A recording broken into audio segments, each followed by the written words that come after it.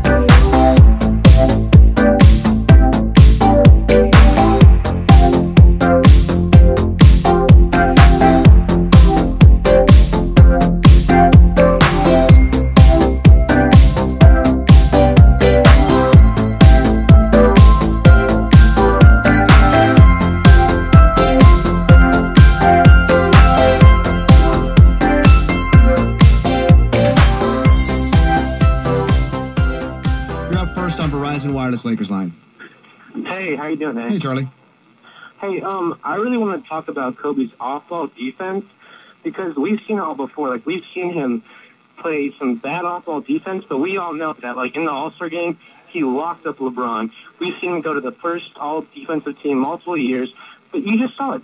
Trevor was literally camping in the corner, a guy that he's played with for about three or four years, and he can't lock him down after that six three-pointer that he made in the corner. I just don't understand what was up with him.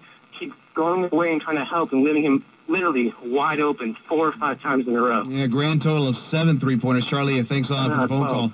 Uh, wow, yeah, nine of fifteen for uh, Trevor Ariza, seven of tw- seven of twelve. I, I just can't believe I'm even speaking those words.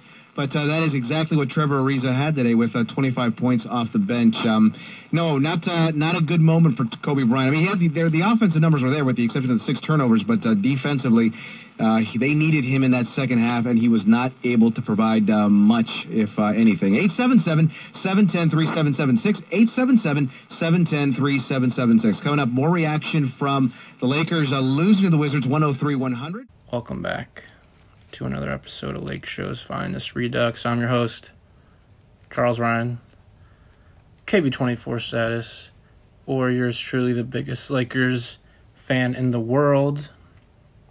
Tonight, the Los Angeles Lakers are one step closer to capturing that elusive NBA title.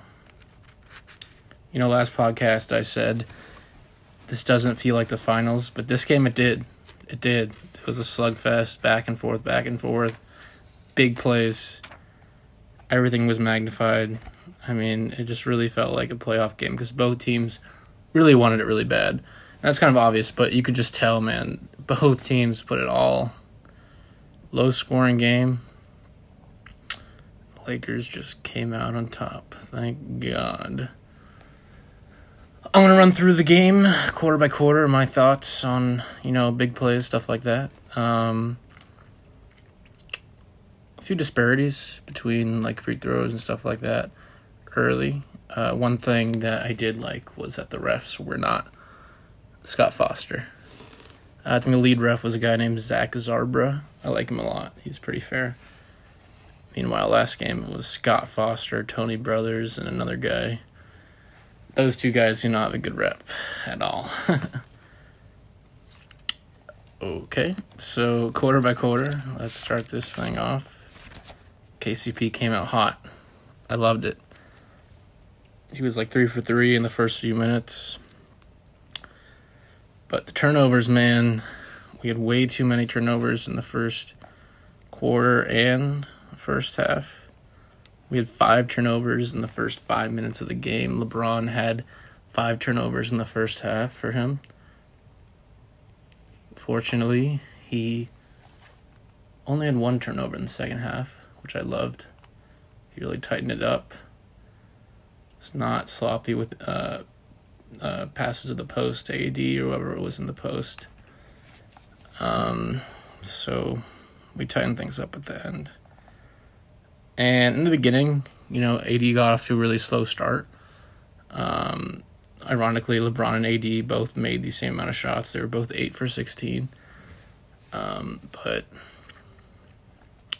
Bam really let AD know that he was there.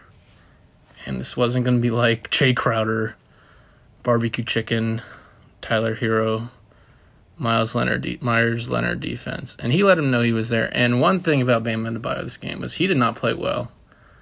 I think he finished like 15 points. He only took eight shots. He was not aggressive. Um, he had three turnovers. He played a lot of minutes for a game back. He played about 33, 34 minutes.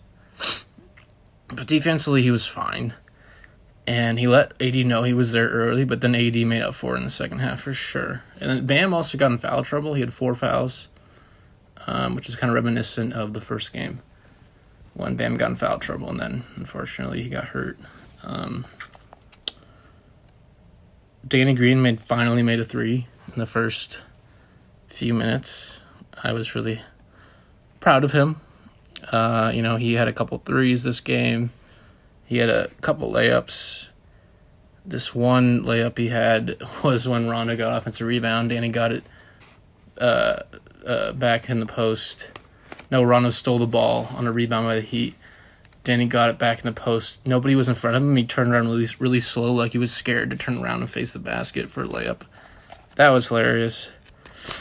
I really thought that was hilarious. Um, oh yeah, sorry. My favorite offensive play the first half was the LeBron steal and dunk, and he dunked right over Tyler Herro, and Herro fell to the ground and flopped. That was great. Um, and my favorite defensive play was um, Davis. He altered uh, a fast break by Tyler Herro, and Tyler Herro completely blew this layup. Tyler Herro made a lot of crazy shots and a lot of silly, silly shots that were unexplainable. But it, Davis didn't even touch Tyler Herro, and Tyler Herro like didn't even hit the rim on the layup. And then right after Davis blocked Kelly Olynyk the next possession down. So that was great back to back defensive plays right there. Um, so LeBron he had five turnovers turnovers in the first half, but he had three turnovers in the first quarter.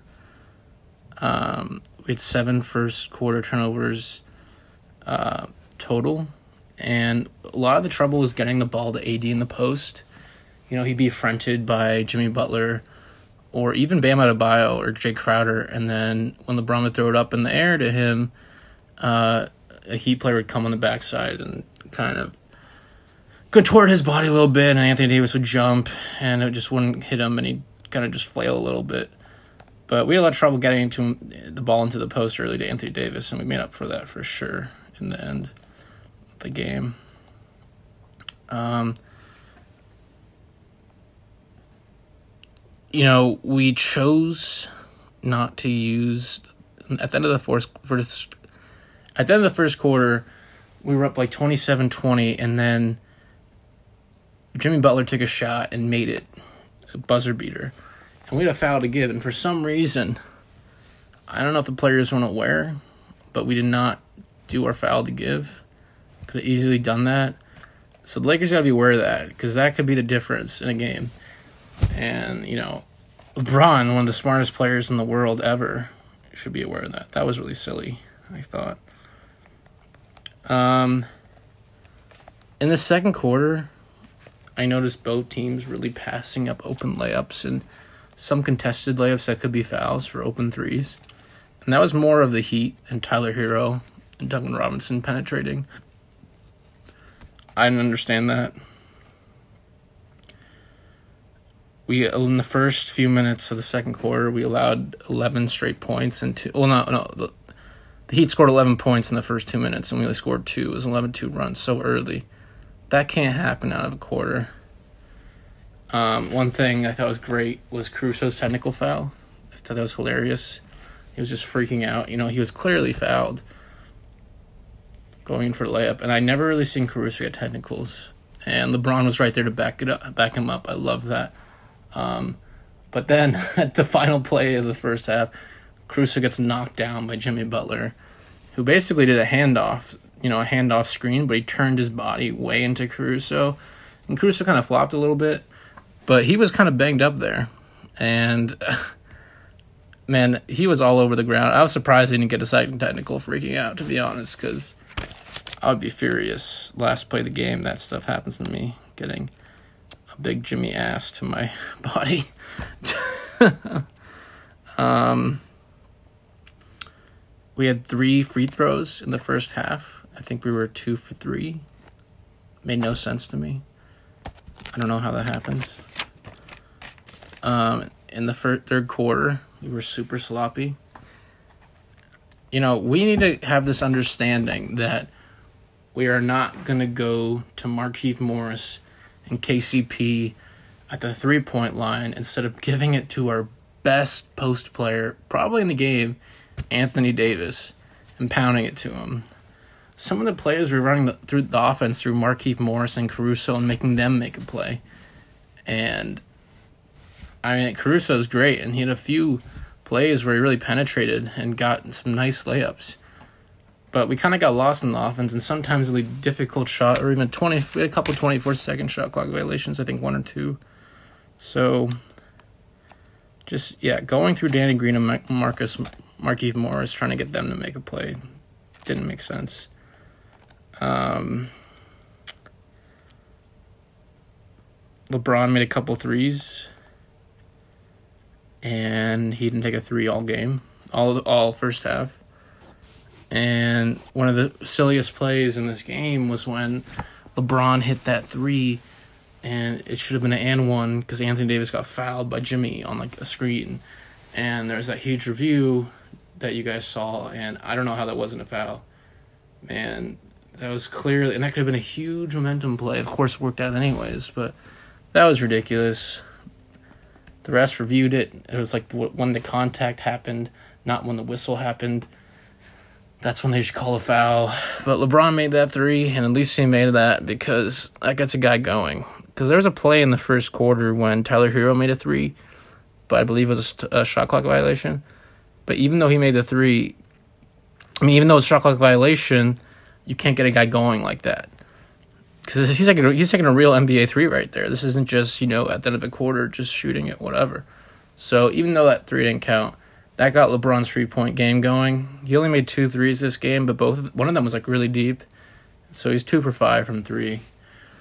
That was great great three point game in the second half for LeBron. It really was. Um, you know, Davis, he got his three point shot going as well. He had that huge dagger at the end. But yeah, he only made two threes as well. But he was two for four. LeBron was two for five. I like how they weren't just living or dying from the three. You know, KCP took eight threes. Danny Green took six threes. Kyle Kuzma took five threes. Markieff took seven threes. It's not necessary to just take threes. And AD and LeBron know their game, and he got the AD got the three going there, a couple threes, but they know their spots and they know what they're supposed to do, what shots are good, what shots are bad. And you know, Bam got in foul trouble in the third quarter. He really did. Um, he got four fouls for three quarters. You know, Anthony Davis only finished this game with two fouls, so he really, you know, he learned from last game not to be a, Bam, a Bam Adebayo or Nikola Jokic, and give him credit because he could easily get a couple touch fouls, and he just stayed pat, really. Especially on the screens when he gets screened for a switch onto like Jimmy or Tyler Herro. You know, when he's fighting through those screens, sometimes the refs like to call touch fouls there. Um, another thing that was hilarious in the third quarter was, uh, excuse me, the third quarter, uh, the fourth quarter interview with Spoelstra, and you're interviewing a coach with 12 minutes 12 minutes to go in the most important game of the season and he's like smiling the whole time like this is ridiculous. I want to go talk to my players. Thought that was great and you know I remember Popovich just giving like one word or two word enter answers in those situations. And same with Steve Kerr saying I can't believe this is required this interview but there's 12 minutes left in NBA Finals. This game if we lose it's over. It was just hilarious. Spoelstra's just smiling and everything. It's great. Um oh, I didn't say this. My favorite offensive play was just Anthony Davis's dagger. Um, you know, he has a tendency to make big plays, and he comes through. And that was very reminiscent of the game winner in game three of the Lakers Nuggets series. But I always, we're always going to come back to this as Lakers fan. Lakers fans, that Brooklyn Nets shot that he missed in the corner prior to the couple games prior. Actually, the game prior to the season being suspended in March, where he missed a wide open three on the wing. That will always be the game that Anthony Davis said, you know what, I'll hit the next one. And he did it again. And he only shot four threes tonight. But man, that was the biggest shot probably of his career. You can probably argue the Nuggets one might be the biggest, actually. But still, that's a top five shot for his career in the NBA Finals. So give him credit, man. He could easily drove. He had, I think, I think Bam was on him. I think. Uh, no, it might have been a Olynyk. I'm not sure, but you know, he had the confidence. He took it, and good job by him. So that was my favorite offensive play. My favorite defensive play was this. This play didn't really matter, but it does in terms of, of it being a statement. You know, Anthony Davis's block with 24 seconds left was huge. Um, Anthony Davis threw the ball out of bounds. The game was out of bounds. The game was like a three possession game.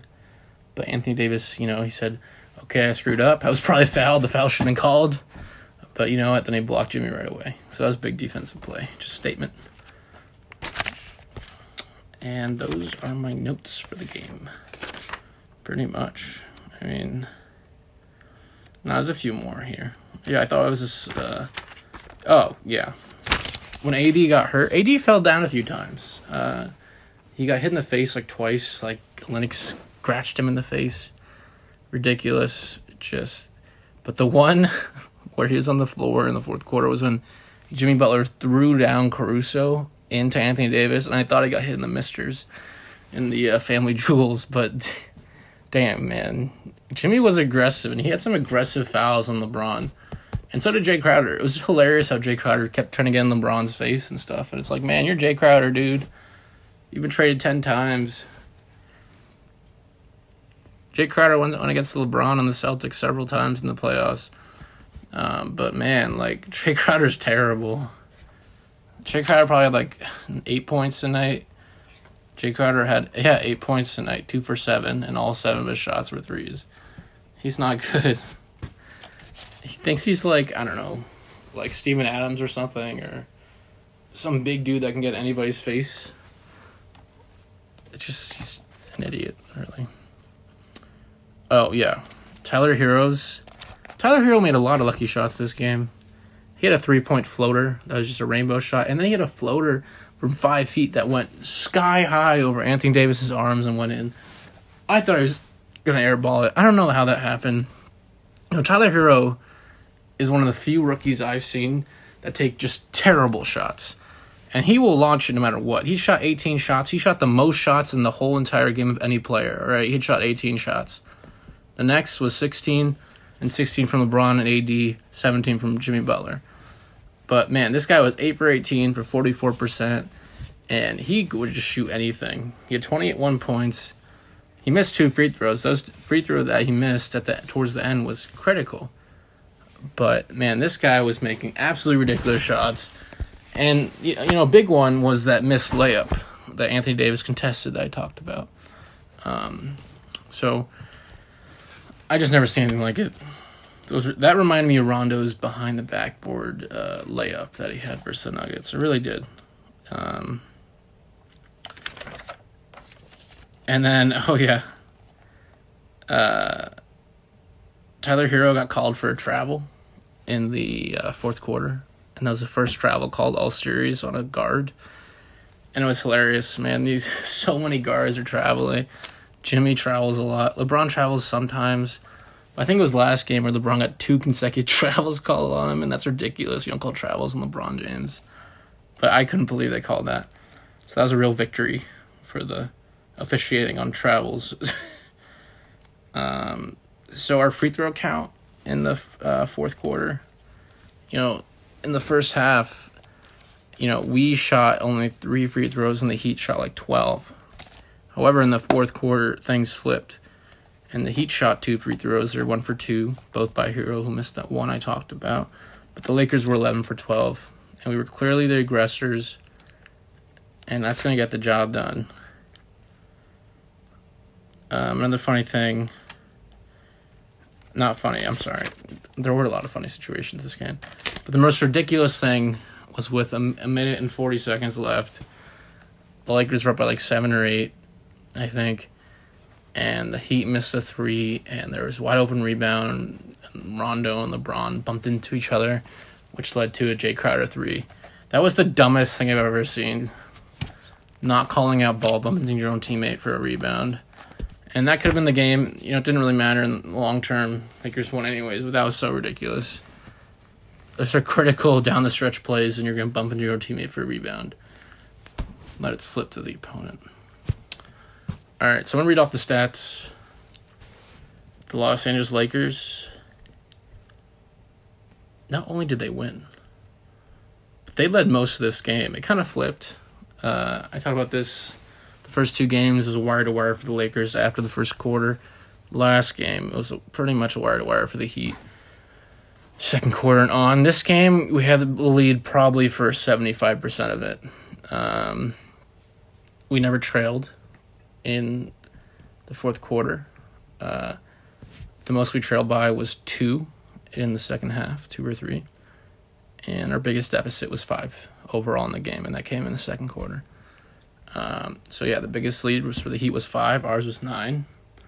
And that nine was right at the end of the game, pretty much right towards the end. The game was tied nine times. There was nine lead changes. The longest run was ten, I believe, by the Heat. But I could be wrong there. Um, points in the paint. The Lakers didn't have a lot of points in the paint tonight, and I was kind of disappointed. And that's mostly because they didn't go to AD really in the paint at all early. Uh, Points in the paint, the Lakers had um, 34 and the Heat had 32. The Lakers usually get between like, I don't know, 45 to 50. They need to work on that. This game was not good for post post up game. Um, but it was a slugfest. You know, both teams did not shoot incredibly well. In game two, the Heat shot 40, 50, 90. They were 50% from the field, 40% from three, and 90% from the free throw line. Not at all, man. Heat, 42% from the field. Made it 32 of 75 shots. 11 of 32 from three. 34%. And 21 to 26 from the free throw line, 80%. The Lakers made their free throws, actually. They only missed three. I think all three were by LeBron James Jr., Sr. 18 for 21, 85%. We shot better at the free throw line, the three point line, and the field goal line. Three pointers, 14 for 39, 36%. Field goal, 35 for 79, 44% overall field goal percentage. The Lakers had 32 rebounds. The Heat had 32 rebounds. That's pretty rare. You know, normally Lakers have more. But the Lakers had 10 offensive rebounds, and the Heat had seven. And a lot of those offensive rebounds were just either Anthony Davis coming in there, cleaning up, or the guards just seeking out the ball like Caruso and Rondo. Just finding getting these long shot three, these off long rebounds off the rim from three point range. Um, Lakers had 25 assists. He had 18. Jimmy Butler was not the same Jimmy Butler that was looking to pass only uh, at all. You know, Jimmy Butler only had, I want to say, eight assists this game. Uh, Jimmy had nine assists. Okay, that's still pretty good, but not the 15 assists or 14 that he had the other game. But yeah, Jimmy Butler had nine assists. The other Heat players didn't do too much. The rest of the Heat players only had nine assists total. That shouldn't happen. The Lakers had five steals. The Heat had eight steals. The Lakers had four blocks. The Heat had three blocks. The Lakers had 15 turnovers. The Heat had 11. And fast break points. The Lakers had seven. The Heat had four. That's kind of arbitrary. Um, you know, off the rebound, fast break is a lot what the Lakers do. So I don't know if that's completely accurate. Um, oh my God, ESPN.com says that he had 15 turnovers, and NBA.com says that he had 11. So I don't know who's right on there. That's kind of crazy. Let's see who's right. Hmm.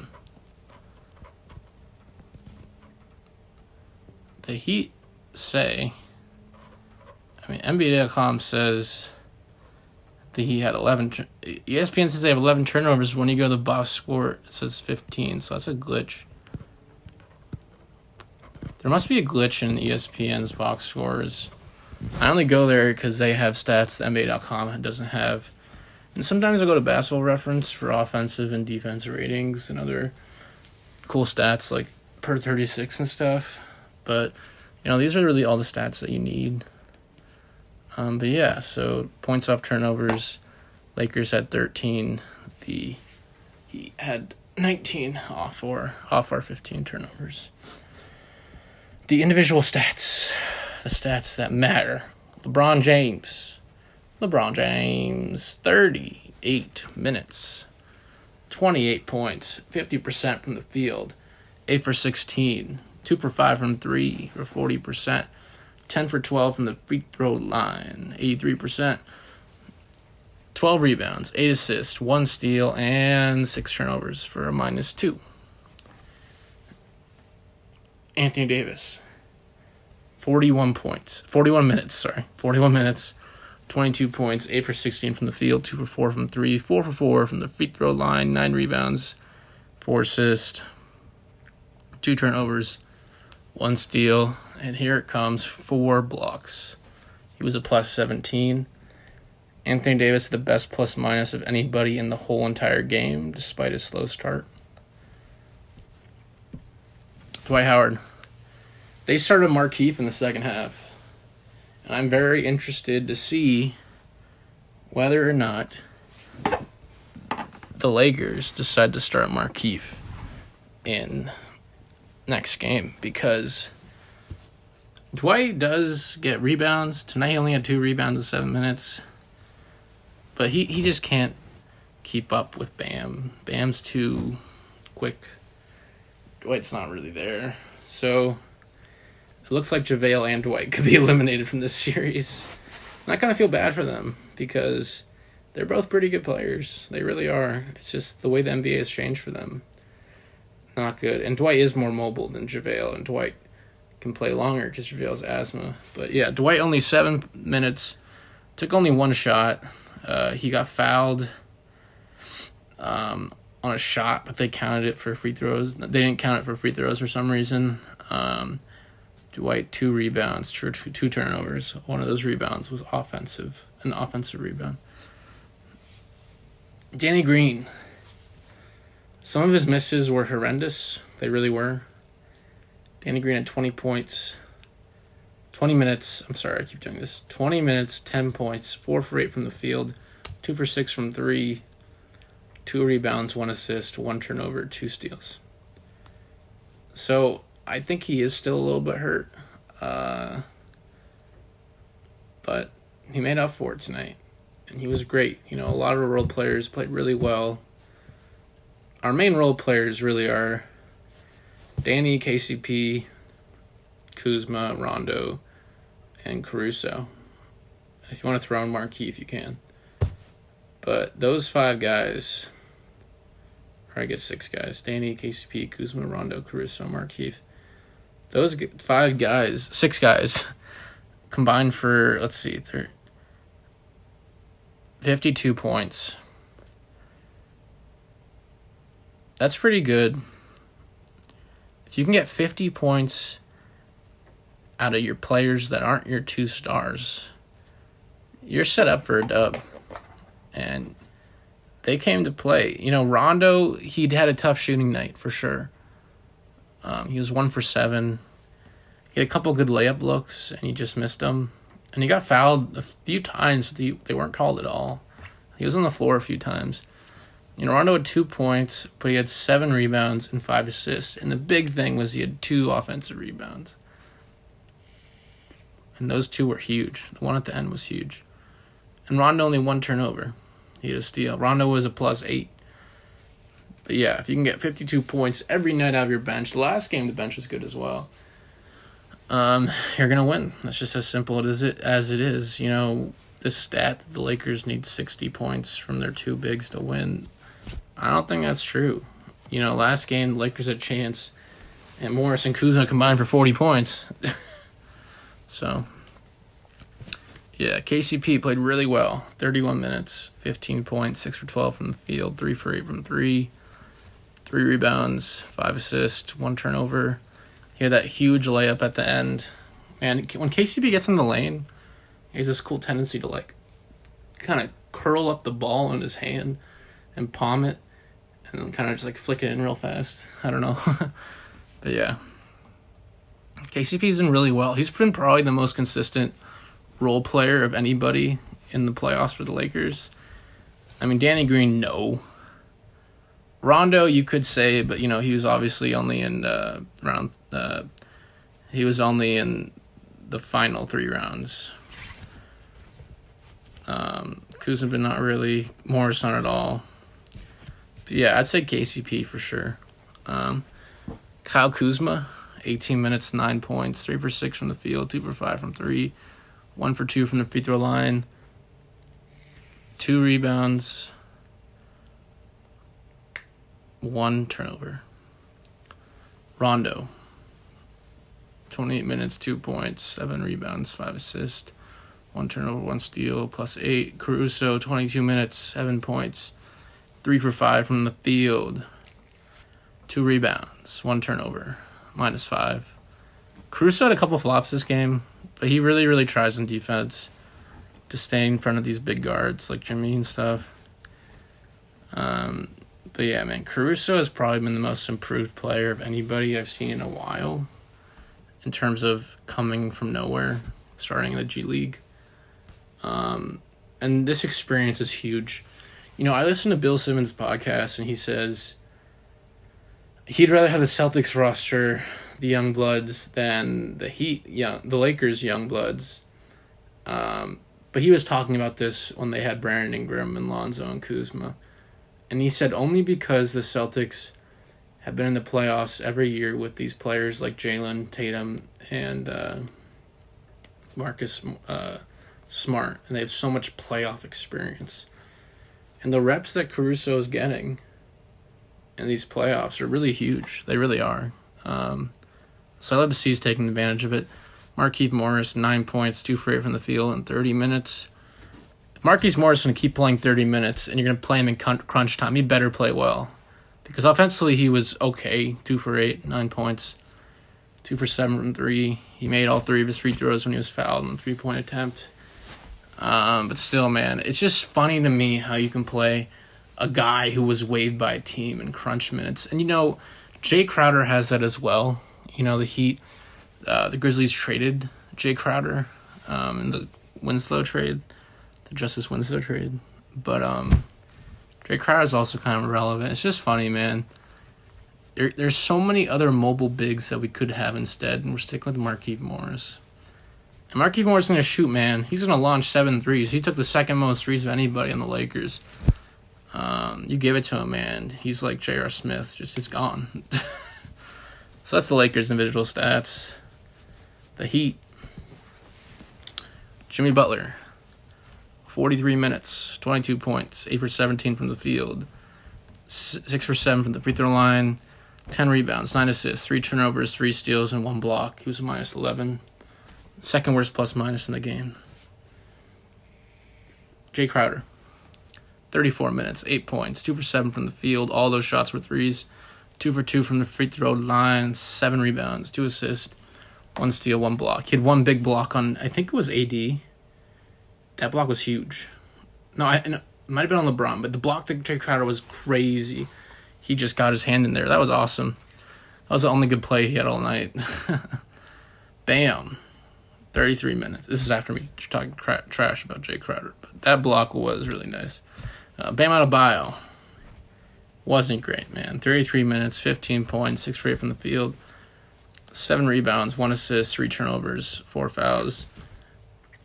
You know, there's no time to have a game that's let me let me get back into a game, let me just work myself in. There's no time for that. Bam Adebayo needs more than zero blocks. He needs more than 33 minutes and only eight shots. He had three turnovers tonight. He only had seven rebounds. If the Heat are going to win, they need Bam to get 25 and 12 and three blocks. 15 and 7 is not going to get get it done at all. And he's fucking slide his feet because four fouls is not where it's at. Excuse my language, sorry. Duncan Robinson, 32 minutes, 17 points, 4 for 7 from the field. He only took 7 shots. He was fouled, though, a couple times on three point attempts. 3 for 6 from 3. But yeah, Duncan Robinson started out terrible this series, and this is solid. Uh, 17 points. 6 for 6 from the line, 1 rebound, 3 assists, 1 turnover, 1 steal, 1 block for Duncan Robinson. I don't even remember Duncan Robinson's block, but yeah, it is what it is. One block for Duncan Robinson. Uh, Tyler Herro, 37 minutes, 21 points, 8 for 18 from the field. Once again, most shots in the game of anybody. 3 for 7 from 3. If you told me, and I said this last game, maybe it was two games ago, if you told me that Duncan Robinson and Tyler Herro would combine for 6 for 13 from 3, I'd be like, you're crazy. These guys are going to take way more than 13 threes and make more than six. That's it. The other game they were like three for twenty, I think. Last game or the game before that. Um, but yeah, these guys need to shoot threes at a bigger clip than six or seven. These guys are sharpshooters, man. And if they're gonna, one guy played thirty-seven minutes, other guy played thirty-two minutes. I don't know, man.